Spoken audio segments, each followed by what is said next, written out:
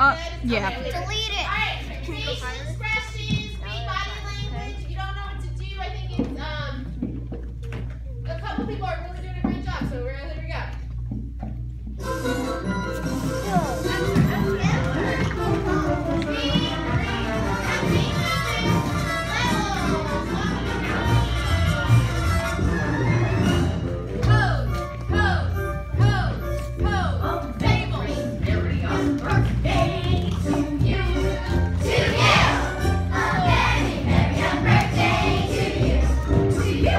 It's right to make you.